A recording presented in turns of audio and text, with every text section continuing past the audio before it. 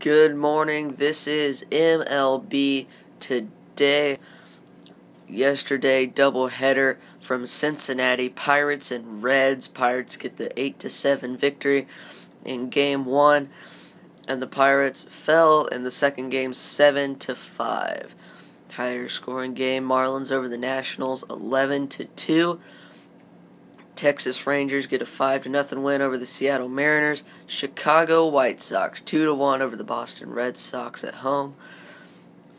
Kansas City Royals get a 4 to 2 road victory over the Houston Astros. St. Louis Cardinals are still beating the Milwaukee Brewers. They got a 6 to 1 victory. Toronto Blue Jays 9 to 3 over the Twins. Mets 9 to nothing over the Diamondbacks. A's top the Angels 10 to 9. Rockies 3 to 2 over the Pirates. Giants beat the Dodgers 3 to 2. Yesterday games that were postponed. Braves and Phillies, Cubs and Yankees, Rays and Orioles and Indians and the Tigers.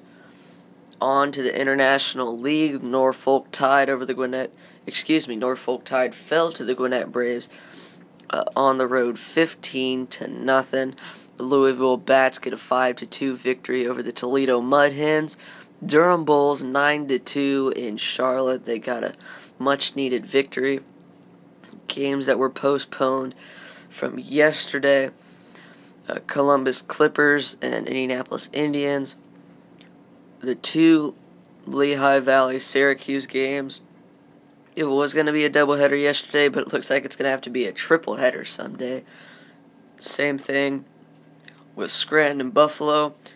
Their makeup game got postponed, and the game that was scheduled for last night got postponed.